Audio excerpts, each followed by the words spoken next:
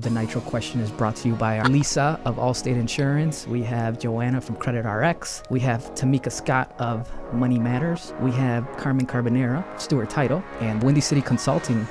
Andrea, a past experience in your career, your last 12 years.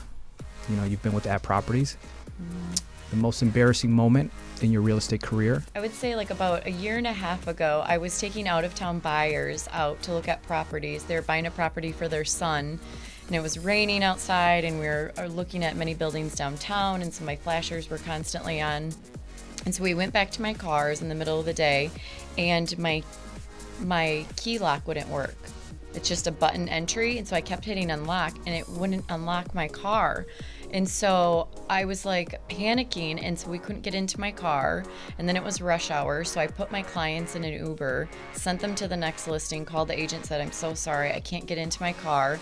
So then I called my car dealership, reamed them out for my expensive car not opening.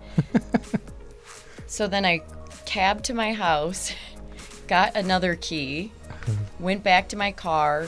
The guy that sells me my cars called me and he said, There's a key inside of your. There's a key inside of the opener. You just have to open it and you use a key to open your door. Yeah. And I'm so used to just hitting buttons and Sure. things automatically opening that I didn't realize there was a key in, inside of my keypad just to open the door, old school with a Yep. key.